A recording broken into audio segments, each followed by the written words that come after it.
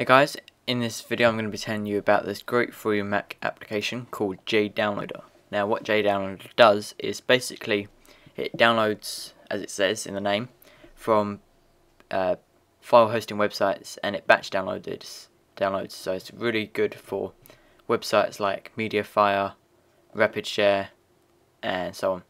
The only downside of the application is that it's Java based so it does take up quite a lot of RAM uh, so yeah, so now going on to it, you have downloads here, and you can click down to show you all the links you've got currently. You then have link grabber, so if you copy a RapidShare link or Megaupload media any link, basically it automatically puts in here and you can download it. I think it might even work with YouTube as well, which is great. You then have add links and open containers. You then have configuration, so you can configure for like premium accounts for your websites if you have premium for them. I have premium for Megauploads so I've got mine configured. And then here are all the websites you can use. So there's a long list. You then have download network. So you can tell it where to save your downloads to. And then have reconnection. This basically gives you a new IP I think which is really handy for downloading off RapidShare if you don't have premium because it just gets rid of your IP address and you can download the next file.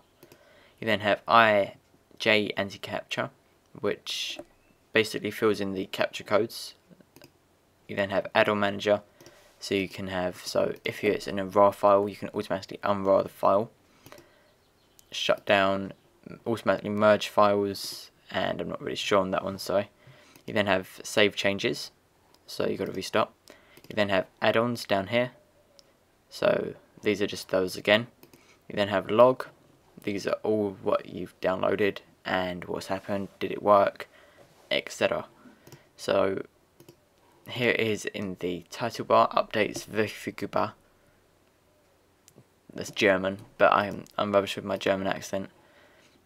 And even same words. But anyway, here is about JDownloader. You can just see who it's made by you have in the top bar start your downloads, stop your downloads, pause your downloads. You then have enable or disable monitoring the clipboard for new links, enable or disable reconnection. Your reconnection is not configured correct and execute update. And then also if you click here, you can have add links, clean up, re, uh, backup, add-ons, about JDownloader and restart or exit. So there you go guys, just a quick overview of the application J Downloader. My uh, rating of it would be 5 out of 5 because it's so great for the what it does, but the only downside for the overall I'd give it a 9 out of 10 because it is Java so it does take up quite a lot of uh, memory. So just a quick uh, overview as I said, hope you enjoyed it, comment, rate, subscribe.